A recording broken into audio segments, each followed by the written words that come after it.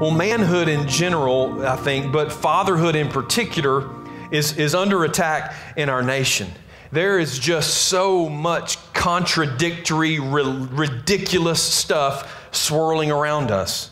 While so some people call for fathers to rise up and take a stand, we seem to be surrounded by quicksand and by landmines.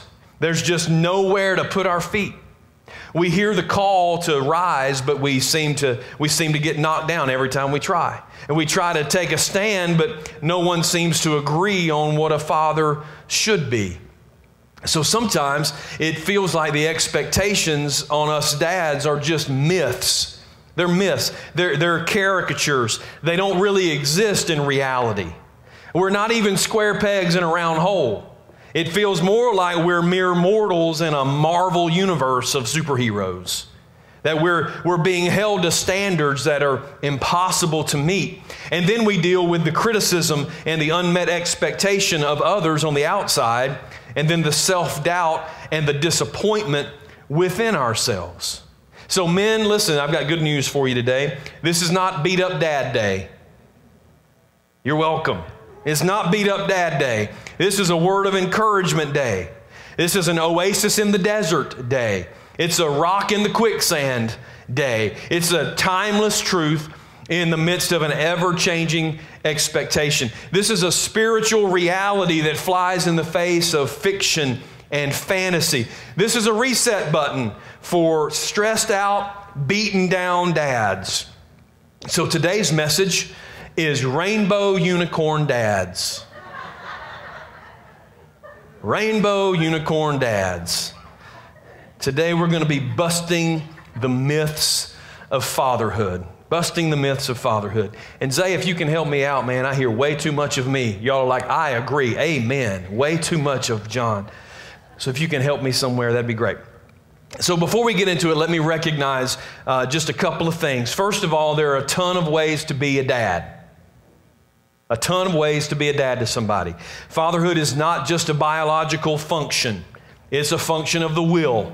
Amen? It's a commitment of the soul. So, for all you dads, biological or step or foster or adoptive or spiritual or however it is, thank you for what you do for our sons and daughters. So, this message is for you. And secondly, since these are spiritual principles, pretty much all of them apply to male and female, dad and non dad alike. So, ladies, uh, non fathers, don't tune, don't tune out now. It's not just for dad. All right, so here we go. The first myth that I'd like to bust is this the myth of the perfect dad. The myth of the perfect dad. So the Belk ads came out. Y'all get those in your mailbox too? The Belk ads came out for Father's Day uh, a couple weeks ago, and they just make me want to throw up. It's just, have y'all looked at these things? As a matter of fact, I hated them so much that I brought them today to share with you. Isn't that what dads do? Oh, this is terrible. Taste this. So that's that's what we're that's what we're going to do. So uh, let's let's throw this. Uh, let's oh, there's casual dad. Casual dad and his little docksiders. Isn't that cute? And then we've got, uh, what's next? We've got act, active dad carrying his golf clubs and his perfectly white shoes. Um, uh, we have outdoorsy dad. That, that's not even a thing. There's not even a word, outdoorsy. But there's outdoorsy dad. Is he carrying a surfboard? Like, what is he doing exactly? And then there's, then there's my personal favorite, stylish dad. Stylish dad. Now, can we just agree as we look at these things that most of the dads we know don't look anything like this? Right? So, like, look around the room. Oh, there, there, are no Belk dads here. Can, can, we just, can we just agree, though, that almost all the images of fatherhood look just like that? Like, I don't see myself in those ads. I don't see myself, I don't see most of my friends in those pictures. Where are the dads that are a little bit too old for, to have kids that young?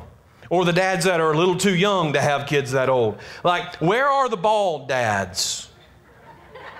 Where are the bald dads? I, I'm not talking about like sexy bald. I'm talking about like real bald dudes that just ran out of hair. Where are the images of the dad that's like 30 pounds overweight? that peaked in high school? you know, where, where's that guy? What about the dads that just ain't that good looking? I mean, not like hard boiled ugly, just like a solid C plus, B minus. Where's that dad? And then you look at the, at the ads for Home Depot and Tractor Supply. It's the same guys. They just put them in flannel shirts and blue jeans and send them to the. It's ridiculous. And you, then you watch TV, you see the same dads, and they're having tea parties with their little girls, and they're playing sports with their sons and winning. And they, and they, they take their wives on romantic weekends every weekend. And they're dancing and, and they're the envy of the room and they're climbing in the corporate ladder far beyond the, their, their peers. And it's just it's impossible. It's ridiculous. It's an impossible standard to uphold. So let me tell you something today guys. There is no perfect dad. There's no perfect dad. Maybe on facebook where you can control everything you see and hear maybe in hollywood not in reality perfect dad is a rainbow unicorn. And in case you're struggling with that, it's a myth. There is no rainbow unicorn either. Okay? So, real dads make mistakes. Real dads lose their tempers sometimes. Real dads are ornery sometimes. We make bad decisions sometimes. Now, this is not a confirmation of a life of mistakes. So, if you know if you got a problem, fix it. But neither is this condemnation It's simply a recognition that life is tough and men are flawed. All of them. All of them. Every man. So we're not good at everything. We're not, we're not always going to be the top of the heap. We're not always going to be the best looking or the best dressed or the most qualified or the most athletic or the most intelligent or even the most present. And that's okay. It's okay. David, I think you will agree with me that David, King David in the Bible, was a pretty impressive man. Warrior, poet, king, musician. As a matter of fact, David was such a great dude that he was probably featured in the Belk ad for Jerusalem in the day. The Bible says he was a man after God's own heart. But, but guess what? He wasn't perfect.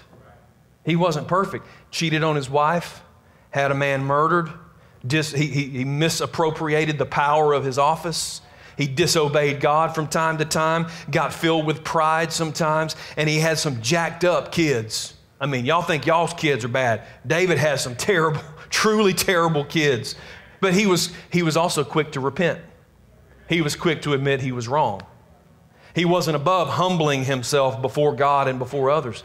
He wrote many of the Psalms, and in many of those cases, David wrote, he wrote those Psalms confessing his sins, telling God how, how, how horrible he feels about his failures and his flaws, and asking God for forgiveness.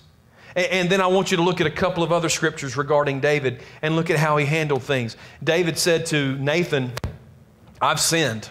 I have sinned against the Lord. Listen, he didn't say, it was her fault. It was his fault. I, I, if this hadn't happened, I wouldn't have done that. He just said, Listen, I blew it. I sinned against the Lord. And David said, and Nathan said, Yeah, you have, but the Lord's forgiven you, and you're not going to die for this sin. And then verse chapter 24 in verse 10, after David had taken the census, his conscience began to bother him, and he said to the Lord, I've sinned greatly by taking this census. Please forgive my guilt, Lord, for doing this foolish thing. And, and then in verse 24 and 25, as the, because the wages of sin is death. And so, as the, as the nation began to pay for David's mistakes and David's sin, the, the Lord replied to, uh, to Araunah, who had offered to give David everything he needed to make this sacrifice. Here's the, here's the wood, here's the, here's the bull, here's the altar, here's the land, here's everything. And David said, No, I insist on buying it. I'm not going to present offerings to the Lord my God that have cost me nothing.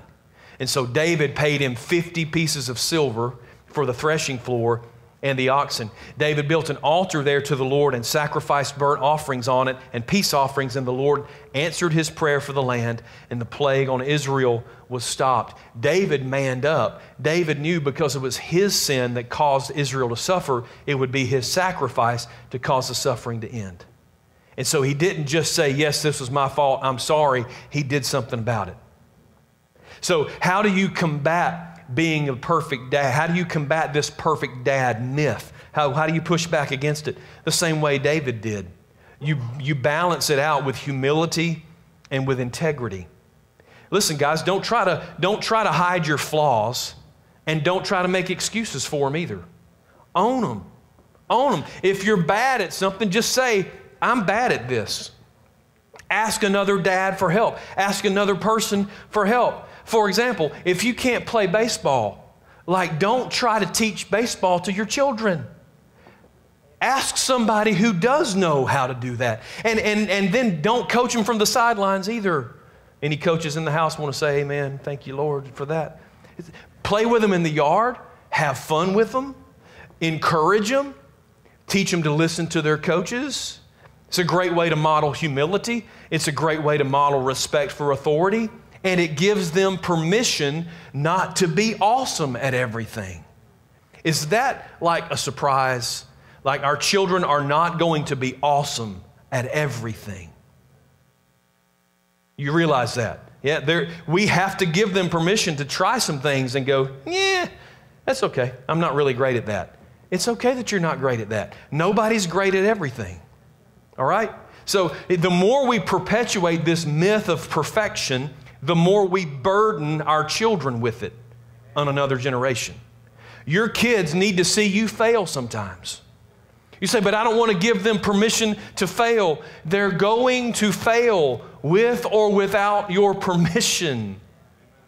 So, what you have to do is model for them the honesty to know your strengths and weaknesses and the wisdom to know your limits.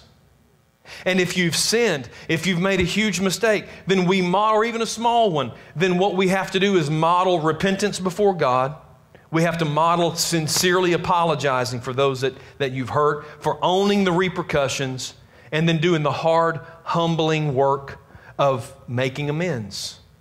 I want to show you this in 1 Peter chapter 5 and verse 6. 1 Peter 5 and 6, he says, So humble yourselves under the, the mighty power of God, and at the right time, he will lift you up in honor. We want to be all dads want to be honored we want to be respected we want to and we don't just want it given to us we want to we want to earn it. We want to earn the right to be honored and respected. But the path to doing that is not by demanding it not by requiring it but by humbling yourself before god. When you humble yourself before god he exalts you he lifts you up he honors you but but it's from a lifetime of humbling yourself wouldn't we all be thrilled if our children turned out that way, if our children humbled themselves before the mighty hand of God? Would that be okay with you if your kids did that? They learned that by watching you. They learn it by watching you. If we'll teach it, then they'll have the chance to learn it. And then here's another uh, area of perfection that we that dads struggle with. I had a conversation with someone, a serious conversation. This dad was really torn up about it a, a few months ago when did we start equating uh, good parenting with omnipresence, like being everywhere at all times? When did we decide that good fathers have to be at every event, at every school party, at every practice, at everything? When did that become a thing? There is nothing wrong with telling a kid, I'm not going to make it today because I have to work. It's okay. Can I set you? I, know the, the oxygen just got sucked out of the room, but can I, can I set you free from some of that, dads and moms too? Now, if you're a workaholic and you're just hiding at work, or if you've got marriage problems and you're hiding at work so you don't have to deal with that, like get both of those things fixed. That's not healthy. Or if it's a really big deal, of course, you try to get off work so you can be there for your kid for a big deal. But don't hang yourself up because you can't be at every T ball practice. It'll be okay. Sometimes dads have to work, and that's good. You, talk to the kid about it. Don't like just ghost them, just don't show up.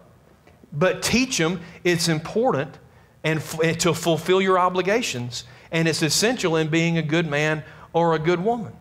Who, how are they going to learn the importance of, of, of honoring your commitments if they see you running in, in every direction every time? Sometimes it's okay if you have to work. Teach them Y'all ready for this? Teach them that they are not the center of the universe. Because as if y'all need my mailing address, it's on the website. As soon as they step into the real world, they're going to figure out pretty quickly and pretty painfully that the world does not revolve around them.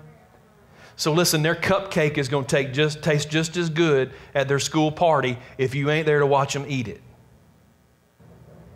And if your kids are like my kids, they probably ignore you when you go to the party anyway. So quit stressing. Quit stressing yourself about it. Stop holding yourself hostage to expectations that have nothing to do with being a good parent. You're welcome. Now, the church is almost as bad as the world at putting ridiculous, impossible standards on people. I didn't say God, I said the church the church. If you hang around the church very long, then you, you'll, you'll get the feeling that if you, if the only way for your children to grow up with a relationship with God is like you've got to preach a message at the end of every family dinner. You have to preach a message like Billy Graham. That, that you have to like build an altar out back and sacrifice sheep on it or something. That you, you have to be this spiritual giant with these, these creative and incredible devotions. And when we talk about stuff like that, we're setting dads up for failure because it intimidates us because we're like, I don't, I, don't, I don't know how to do that. And so, what, what happens most of the times, we wind up not doing anything. And we just avoid the topic of spirituality uh, altogether. Let me take you off the hook, dads. Just do what Ephesians chapter 6, verse 10 says Be strong in the Lord and in the power of his might. I mean, seriously, be strong in your relationship with the Lord. Bring your kids to church. Don't just send them. Bring them to church. Worship in front of them. They need to see you with your hands up. They need to see you passionate about things that matter. They, they need to see you living what you say you believe. So don't put on a face at church that has nothing, no bearing in reality at home. You need to be who you say you are. They need to see you show up to work show up to serve, show up to help. They need to see you. Listen, seeing you be devoted speaks way louder than any devotion that you'll ever come up with. So, because they're not going to, they're not going to listen to what you say, they're going to become who you are. So, take yourself off the hook of the, of the perfect dad myth. There is no perfect dad. Show them instead a dad that's humble, a dad that's honest, and a dad that's sincere in his relationship with the Lord. Here's a second myth the, uh, the, the omniscient dad, the all knowing dad. This is, what I, this is what I call, in my old age, this is what I call the father knows best dad. And if you're too young to remember that show from the 60s, then just listen to the title again Father Knows Best. In the mythology of this, when one of the children gets themselves in trouble, they come and they humbly ask dad for advice. And you, because you are a father, are omniscient. You know all things. You are revered for your sage wisdom and for your deep insight. Or when your children are secretly doing something that they're not supposed to do, or they're concerned about something that they're not sharing with you, then the omniscient dad immediately knows exactly what's going on, exactly the right thing to say to snap them out of it, or to fix, them for, fix it for them, or, or to tell them how to fix it for themselves, and to make their lives perfect again. Can I let y'all in on a little secret? I mean, this is, this is big stuff. It's probably going to blow your mind. It's this like magician's secrets revealed right here. Here's the truth dads don't always know, they don't always have the answers. Dads don't always know what to do. Shocking, I know. The omniscient dad is a, is a unicorn, rainbow unicorn. Our children are often in trouble, but rarely ask advice. They, and when they do ask advice, they rarely listen to that advice. And if they do listen to that advice, they rarely put it into practice. And if they actually do what you told them to do, it rarely works out the way we thought it would in the first place. All right? And, and don't our wives do, it, do this to us as well? You ever been driving somewhere and somebody cut you off or somebody do something crazy and she says, What in the world were they thinking? What were they thinking cutting us off like that? What makes that person drive that way? I don't know. I, I don't even know them. I've never met. How would I know what, what they were thinking? Or, or when the kids do something enthusiastically stupid. Did your kids, your kids ever do enthusiastically stupid stuff? And your wife says, Why in the world did they do that? I mean, what came over him that he would, it would cause him to be so reckless? What went through the mind of your child to make them act that way? Are we really supposed to respond to these questions without sarcasm? Really? I mean, and then we do, and then the fight starts, right? At the end of the day, the reality is we're just human. We don't know. We don't have all the answers. Sometimes we don't even understand all the questions. And it's not because we're dumb, it's because life's complicated. It's too complicated for anybody to be expected to have all the answers. So, dads, take yourself off the hook if you don't feel like you're qualified to be an expert life coach, whatever a life coach is. So how do we what do we do? How do we push back against this myth of fatherhood? James chapter 1 and verse 5 says this. If you need wisdom, ask our generous God and he'll give it to you. And, and here's my favorite part. He won't rebuke you for asking. God is not surprised that you don't know. And He's not mad at you for not knowing. He just wants you to come to Him. If you'll come to Him, He will give you the wisdom that you need. So here's how this plays out in reality. What would happen if the next time one of your kids came to you for advice and you honestly just didn't know, you didn't see a clear path forward, you didn't know what to do? What would happen if you said, Listen, baby, I tell you what, I really am not sure what to do either. Here's what we're going to do we're going to pray about it, and we're going to ask God to show us what to do. And then, just like right there on the spot, it doesn't have to be a fire calling prayer, just a simple, humble re- request to God asking for direction and wisdom. You think God would answer that kind of prayer? And do you think you would be modeling something for your kids that would teach them how to do that when they become adults, when they have children, modeling something they're going to need eventually themselves? I think that'd be a game changer in most of our homes. And, what about those times when you know something's going on with your kid? You know something's bothering them, you can't quite put your finger on it? What would happen if, if, if when you talk to them and they won't open up, that you say, Listen, I love you too much. I love you too much to leave this alone because this is clearly important to you. It's clearly bothering you. So here's what we're going to do I'm going to pray, and I'm going to ask God to show me exactly what's going on with you so that I'll know how to pray for you, and so I'll know how to intervene if you're in trouble. And then you just say, listen, the Holy Spirit gives gift, the gifts of wisdom, gifts of, of knowledge, gifts of prophecy, and I'm going to ask Him to do that for me right now. You say, Pastor, do you believe that God give, would answer that kind of prayer? Do you, do you believe He speaks to people like that? Do you think He would give me spiritual gifts to be used for my family? Because I thought spiritual gifts were only used for, like, you know, spiritual stuff. Listen to me. There is nothing more spiritual than your role as a dad. Nothing. And there's nothing more important to the kingdom, more important to healthy churches than strong, healthy families. So, yes, I believe God does and has and will answer those prayers. And when He does, it won't take very many times of the Lord showing you what's up before your kids will just start spilling it the first time you ask because they know God's going to tell you anyway. Right? So, do fathers know everything? Absolutely not. But godly fathers know the Heavenly Father, and He knows best.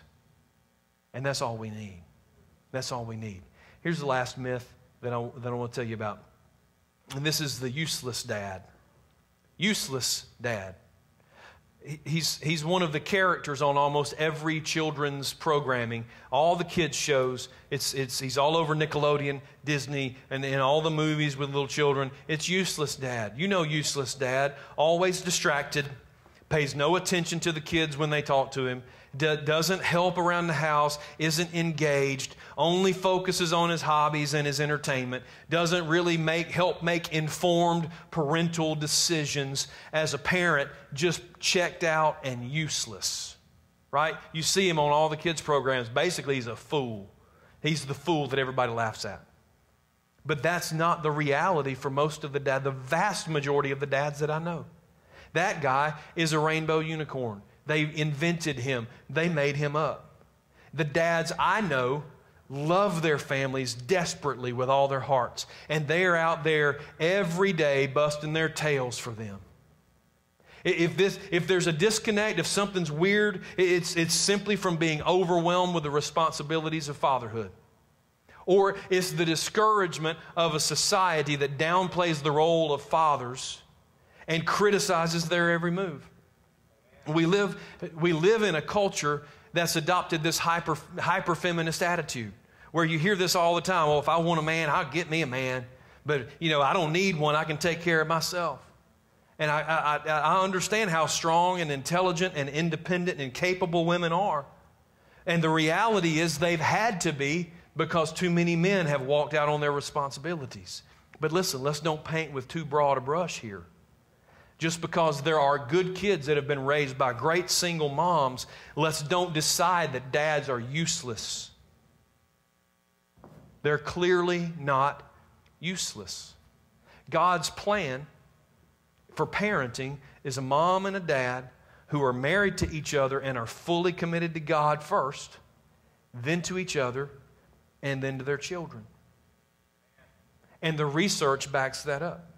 The research backs it up. Uh, about 15 years ago, you know, the, there's, there's this premise that we've sort of understood about ministry in the church, and, and we've assumed that, oh, and I've heard people say it over and over again if you can get the kids in the church, you'll get the family. Y'all heard that at church? You get the kids, you'll get the family. The research is in about 15 years ago, and that's simply not the case. If you get the kids, the family comes about 4% of the time. Four. And I suspect it's even less now because in our busy society, parents are happy to get a couple of hours of free child care on Sundays. So they send them little babies on to church. So we said, well, if we get the moms, we'll get the family. That's not what the research says. The research says when mom comes, the family comes with her about 17% of the time. But when the fathers start coming to church, the rest of the family attended 93% of the time. 93. And some, and some more recent research from, from some Swiss researchers showed that the influence of dad on the spiritual development and nurturing of their children is astoundingly important. Like almost impossible to pass down a spiritual legacy without the presence of a dad who is also committed to that spiritual legacy. Dads, you are not useless, you are vital vital to the spiritual formation of your children, vital to their walk with Christ. They need to see you living your faith, they need to see you loving Christ. Now, let me show you a few, a few roles in the Bible that, that the Word calls dads to. And there's, there's a ton of them, but let me just highlight about three of them. Hebrews chapter 12 the writer of Hebrews is talking about the spiritual discipline that we all have to go through sometimes. And he says, as you, as you endure this divine discipline, remember that God is treating you as his own children. And then here's a hypothetical question who, who, have heard, who ever heard of a child who's not disciplined by its father? Who ever heard of a child not disciplined by its father? In our modern day, this is not a hypothetical this is not a question that has an, an implied answer. All of us could raise our hand and say, Oh Lord, I know dozens of children who are not disciplined by their fathers, hundreds of children who are not disciplined by their fathers. Fathers are vital to the discipline of our children. I'll tell you what, as a former teacher and administrator, there'd be a whole lot less problems in school if we, if we quit telling dads they're useless and quit fussing at them for trying to discipline their kids. There'd be a whole lot less crimes committed. There'd be a whole lot less people in prison. And, and much of it can be traced back to dads buying into this myth of uselessness, just walking away from their responsibilities, or if they're in the home, just checking out. Dads are not useless. Let me show you in Ephesians chapter 6 and verse 4. And this is two halves of a verse, and sometimes we, we clamp onto the first half and we ignore the second half. Fathers, don't provoke your children to anger by the way you treat them. And in pulpits all across the country today, there, there are preachers that are beating up dads about the, us making our kids mad in the way we, and we do aggravate our kids too much sometimes. But let's don't forget the back half of this verse. Rather, fathers, bring them up with the discipline and instruction that comes from the Lord. The, this verse talks about discipline as well, but it also says instruction. Dads, listen, don't punish your kids. Do not punish your kids. Discipline your kids. Discipline them. Discipline involves teaching. It's actually the same word. When you go back to the original language, to, to, to the Greek, discipline and disciple are the same word. Discipline involves teaching. It's not just about what they did wrong and the consequences of that, but how they can do it right.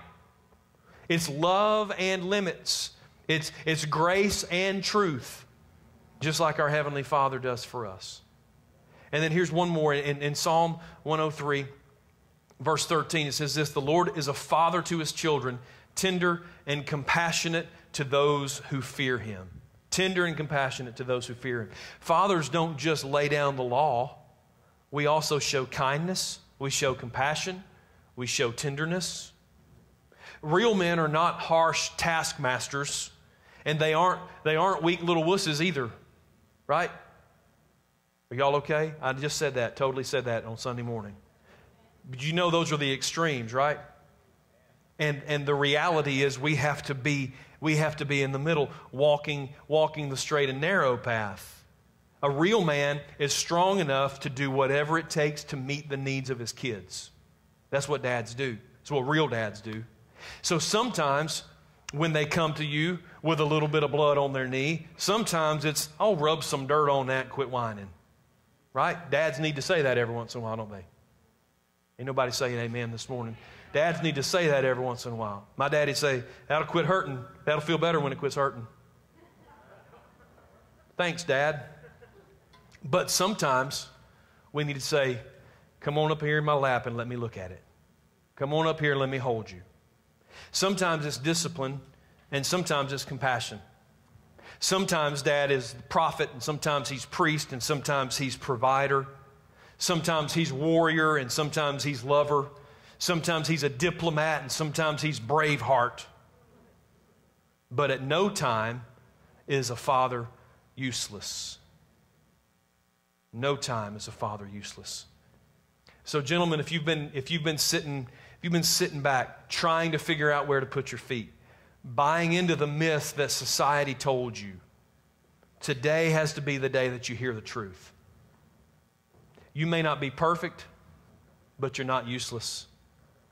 You may not know everything, but there are some things that you know that your kids don't know.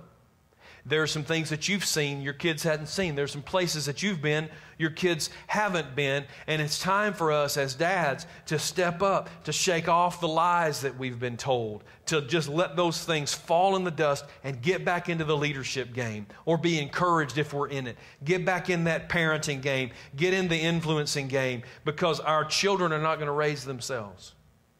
And there'll never be a time where there won't be a role for you to play in your child's life.